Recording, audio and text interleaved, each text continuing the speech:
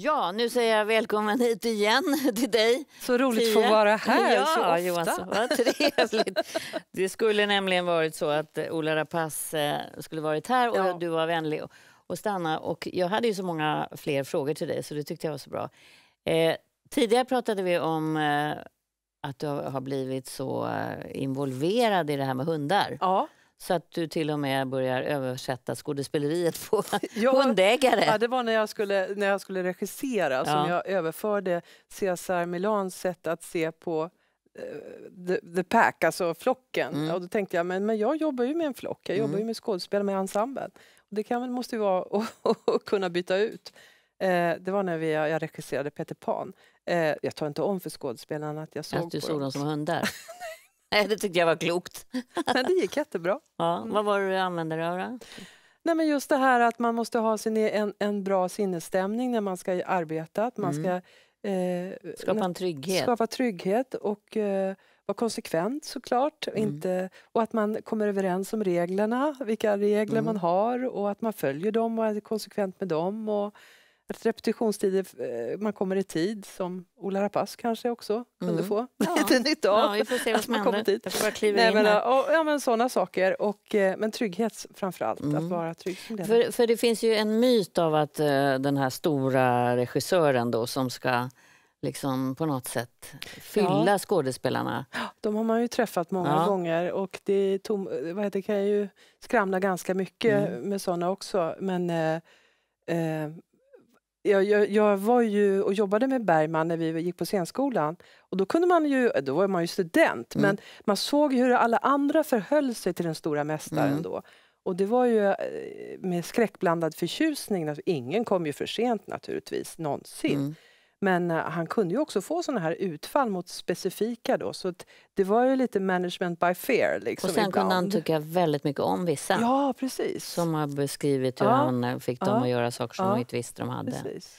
Men du, det är ju verkligen en konst. Mm. Det här att eh, man måste kunna sätta ner foten och det måste finnas någon som bestämmer riktningen. Ja, och Och vill och, tycker ändå- det är bra och roligt. Ja, Ja. precis. Och ändå eh, låta människor växa. Ja, det tycker jag är det roligaste Mm. med det här med att jobba med hundar nu. Därför att varje gång man träffar en hund så träffar man en människa som har hunden som Mm. har problemet. Men människan äger alltid problemet. Och det eh, är så roligt att se att man kan hjälpa. Mm. Och många vill ha hjälp men väldigt få vill bli hjälpta. Det är så? Ja, därför att... Eh, Förned- att lite nej, skämmigt? det tar tid. Ja, alltså just det. just det här att, ja men då vet jag det att jag har svårt med det och det. Men så måste jag jobba med det Mm. som jag jobbade själv med min hund. Det, att, att, att hjälpa sig själv att komma igenom sina trasigheter eller vad det nu kan vara för någonting. Mm. Man kan tycka att det är ett litet problem och så sen blir det någonting som är stort för mig men inte för dig. Mm. Men jag måste ju jobba med det. Mm. Men du, jag tänker också på... ehm, jag skulle ju ha suttit och pratat om bland annat en eh, Film som jag har gjort. champagnelunch eh, ja, som jag hade som jag tyckte var så spännande här Ja. alldeles i starten av den här. Det Jag här såg programmet. blänkan Ja. av det. Ja, Och det var ju Ingvar Carlsson och så var det Ola Rapace Gardell. och så var det Gardell. Vi kan bara titta lite på den Absolut. så se om du fångas av ämnet. Jaha. Jag, ty- jag känner ofta skuld inför, alltså jag är småbarnsförälder som du också. Då går man ju ofta omkring med liksom skuldkänslor. Man, Man räcker inte till. nej, man är inte där och man är någon annan. Nej, det alltså, gör sådär. du, det gör du troligen inte heller. Nej, visst. Men Då har du skuld, de blir ju inte gladare för att jag har skuld. Nej, men gör någonting åt det. Jo, visst, absolut. Men skuldkänslorna hindrar mig bara från att göra någonting åt det. Ja, För, att jag, alltså för, mig, för mig har det, har det varit tvärtom. Att, att, vara, att inse att jag är skyldig och därmed ansvarig att ta konsekvenserna av mina, mitt handlande är, tycker jag är, är, är rimligt. För mig är steget efter skuldkänslor är självömkan och då är jag bara längre från att ta ansvar. Mm. Ja, väldigt intressant. Ja, och det var mycket mer. Vi kan lägga ut det på så man får se hela i sin helhet. Men, men det här med skuld och skam är ju någonting som ju människor ibland låter eh, driva dem i olika riktningar som man kanske inte riktigt styr över. Ja, skuld. eh, Jag tänker på ordets oskuld. Mm. Då tänker jag att när man då har blivit av med sin oskuld så är man skyldig. Alltså varför vad lägger man i det här ordet Mm. skuld? Men eh, skuld är ju också eh, synd och skam och så vidare. Men jag är ju katolik så jag Mm. biktar ju mig till exempel. Och det är ju ingen Blir du fri då när du lägger av Ja, dig? då är det också dina- hur man ser på vad en synd. Alltså en synd är ju någonting man ångrar. Mm. Därför vill jag, jag har ju liksom precis som eh, med hundproblem, alltså man måste gå till botten till det. Mm. Det här gnager i mig, det här känns inte rätt. Jag vill eh, också gottgöra det. Men jag vill också bli av med det så att jag inte ältar det. Det är Mm. det man gör i, bikt, i bikten. Och då är det en skillnad att man lägger av det ja, här. för då har jag ju liksom också eh, ångrat det. Mm. Men det man inte ångrar kan man ju inte bikta. Det kan man ju Mm, inte, mm. utan då blir det liksom någon slags skam och skuldkänslor som man går omkring med. Och några kan ju tycka det är lite mysigt nästan att ha det. Att det är en del av... Men jag håller med Jonas där att, att det är ju liksom små varningsklockor att ah, jag har någonting att jobba på. Mm. Jag ska ta och rensa upp här. i. Jag måste ta ansvar. Ja, precis. Mm. Och, och då kan man ju tänka att stressen oftast är den vanligaste. Jag skjuter upp det. Jag Mm. har inte tid nu för det här är mycket roligare just nu. eller någonting. För, för jag tänker också att du har varit väldigt öppen med saker i ditt liv. Ehm, du har suttit här och sagt någon gång, är det någon som vill ha mig? Sa du en gång. Ja. Jag ser, finns här, jag vill ha någon Ja. att leva med. Ja. Och om man tänker, det är ju sånt som en del inte skulle liksom berätta att de hade en sån önskan. Och Nej. d- vad tänkte du när, när du var så öppen med det? Nej, men jag tänker att rädsla är någonting som jag har lagt åt sidan. Det gjorde jag väldigt tidigt. Eh, det gjorde jag i och med att jag blev skådespelare. För jag har ju många kollegor som är rädda när de ska gå in på scen. Mm. Eller den här, du vet, man scenskräcken och den här ångesten över att man ska göra massa saker. Eh, och då tänkte jag, där ska jag lägga åt sidan. Jag ska bara gå från sminket rakt in på scenen. All förberedelse är ju redan gjord. Så man behöver inte förbereda sig Men det 14 låter ju väldigt enkelt, jag bara lägger åt sidan. Ja, nej men du, du bara är i nuet. Mhm. Och eftersom jag har improviserat väldigt mycket så handlar det också verkligen också om att kliva förbi rädslan. För rädslan gör ju allt att vi tänker på vad som har hänt eller vad som kommer att hända. Mm. Vi är aldrig liksom närvarande. Så när det väl händer någonting fantastiskt så är jag någonting, tänk om jag går fram till honom nu, som jag träffade Cesar Mellan Mm. på, på hotellet.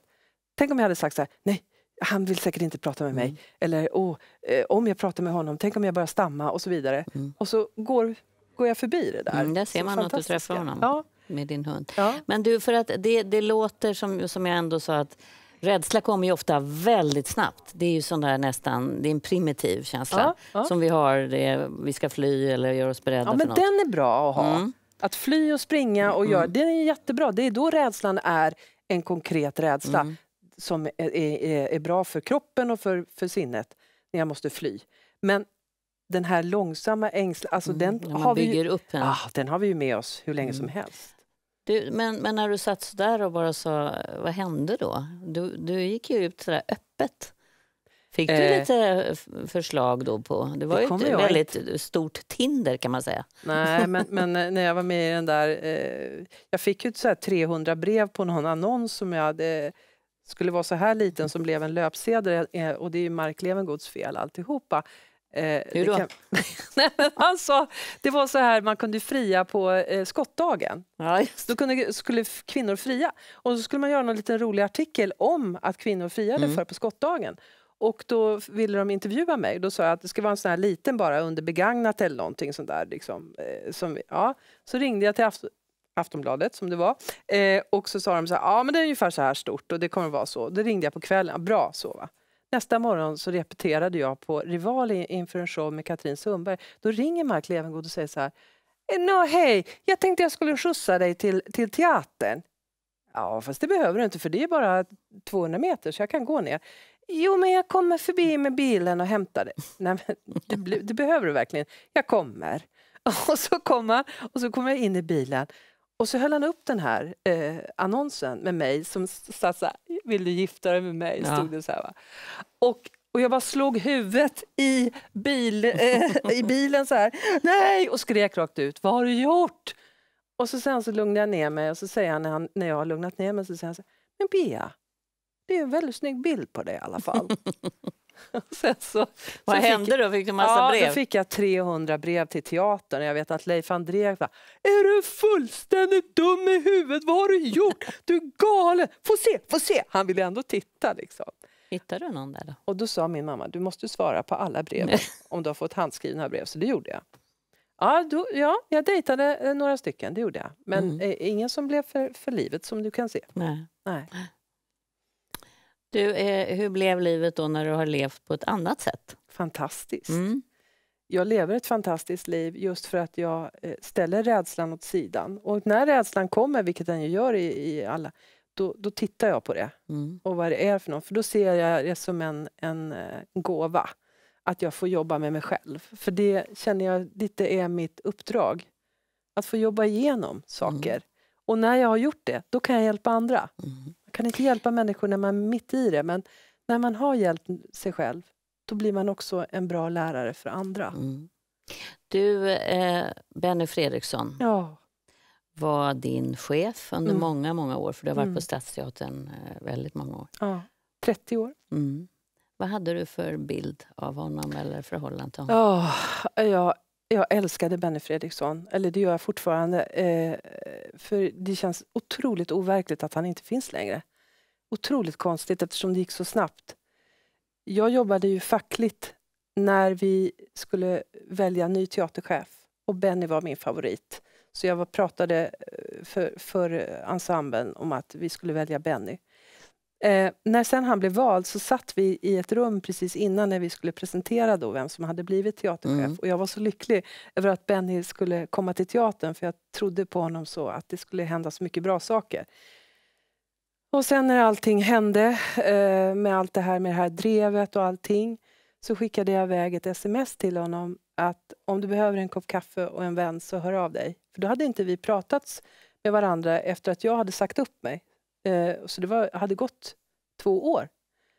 Eh, och eh, då svarade han direkt. Och så tog vi en kopp kaffe i kyrkans café. Och då kom han och sa att jag precis sagt upp mig. Och då var han ganska euforisk. Det kan man förstå när man har liksom Mm. blivit av. Men, eh, och det var ett fantastiskt möte. Vi skrattade och vi grät. Och eh, vi fick liksom göra klart det som vi hade med varandra. Sen visste ju inte jag att det skulle vara sista gången jag såg Mm. honom. Eh, Men du, han var ju också... eh, han var en fantastisk chef. Han var den bästa chef jag haft. Och också omstridd. Ja, det blev han ju på, på slutet mest. Mm. Men han, gjorde ju, han har ju gjort fantastiska saker. Mm. Eh, han var, och det sa han på sista dagen som jag träffade honom. Så sa han så här, jag ser mig som en vallhund. Det är ju så roligt Mm. att jag har en vallhund. Att jag, min, min förmåga att föra samman människor, att föra ihop olika människor, att skapa olika eh, kreativa lösningar. Jag menar, det var en av anledningarna att jag och Dan Ekborg träffades som Mm. kom från helt olika miljöer. Och, och kärlek uppstod och vi gjorde fantastiska saker på Stadsteatern tillsammans. Och befruktade liksom våra olika Men idéer. du, de här- Det var Bennys eh, Förtjänst. förtjänst. Men, Sen att man inte tyckte om alla hans beslut, Mm. ja, det gjorde inte jag heller. Men, men så är det att vara chef. Mm. För det är väldigt olika bilder. Många säger som du och så eh, en del säger att det, det naturligtvis var både och. Och andra har liksom sagt att det här blev inget bra. Det var ingen bra stämning och klimat. Hur kan Nej. en människa skapa så olika bilder tror du?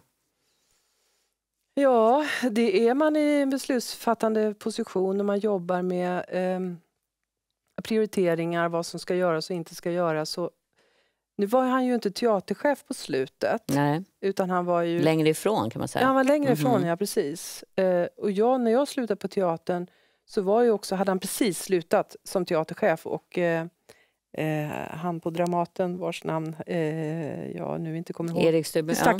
Han hade ju precis också sagt upp sig för han skulle gå till Dramaten Mm. så det var ju sånt där kaos Mm. eh, på teatern då. Men eh, och då kände jag också att den eran var över. Mm. Det, det man tänker är att vi lever också i ett samhälle som är väldigt eh, svänger fram och tillbaka. Det är en fokus var ju på metoo och i mycket av det så, så följde ju det här som handlade om, Stadsteatern fast det ibland blandades ihop säger en del. Mm. Eh, och sen var det ju nu är det Svenska Akademin. Alltså det är väldigt fokus och med Mm. väldigt starka uttryck. Och vi är väldigt snabba på att döma. Mm. Och vi är väldigt snabba på att lägga oss i när vi inte vet någonting om det Mm. heller. Och även de som är i det är Mm. också väldigt snabba på att fatta beslut för att de har på tryck från, äh, från andra håll. Och eh, jag skulle, alltså det finns ju, när man är i kaos ska man väl absolut inte fatta några beslut. Jag tänker även på akademin, varför tog de inte in någon som sa att nu talar vi om det här. alla hamnar ju på olika sätt när en sån här kris händer. Mm. Någon blir tyst, någon blir utåtagerande, någon blir sjuk, någon kräks eller vad det nu kan Mm. vara. Och då när alla är i kaos, då fattar man beslut som ska vara avgörande för en lång framtid. För, för du har ju Det är varit... helt förkastligt Ja. istället för att sätta sig ner och nu tar vi ett samtal och låter någon leda samtalet. Eller lika väl på Stadsteatern att det är de anonyma massan som på något vis eh, dömer. Mm. Och då passar alla på att haka på. Och Är det döma. mer så nu, tycker du? Absolut mer nu. Eller det är fler olika Ja, plattformar Vi är som kan... snabba på, för Mm. att det finns så mycket sociala medier Hur där vi har du hakar på. hanterat att vara offentlig person? För du har ju också eh, varit, som jag sa, väldigt öppen med saker. Och den här löpsedeln var ett Ja. exempel på att du gick själv lite för långt, tyckte du då. Ja, men jag tänker inte på att jag är en offentlig person på det viset när det är... alltså jag kan inte sitta och tänka jag är en offentlig person och sen eh, agera... Eh, jag menar, jag är bara Pia Johansson med alla mina känslor och alla mina Men du har lyckats erfarenheter. behålla det. Ja, det är vad du säger. Men någon annan kanske tycker något helt annat. Ja. Nej, men det låter ju som att du känner så i alla fall. Jag känner det, Ja. ja. att jag är ärlig mot Mm, mig själv. mm, och skulle jag göra något övertramp eller göra något, säga något klumpigt eller något så vidare så får man väl ta det då. Och, eh, Mm. eh, för det händer ju också. Mm. Nej, men det är ju intressant hur man ska hantera den, vår tid som vi lever i. Det är en, Jag tycker man ska ta tid. hand om varandra. Mm. Vår tid är så kort. Mm, var rädda om varandra. Ja, vi ska verkligen ta hand om Mm. varandra. För att när någon dör som det här då, då är det ju för sent. Mm. Du, tack för att du satt vad här och berättade. Nej, men du, vet du vad? Jag släpper inte dig. Nej. Du ska få någon belöning här också nu Ja, för att du har varit eh, här och suttit med mig. För att nu ska Monica Ahlberg bju- bjuda på något som jag tror blir helt fantastiskt. Åh,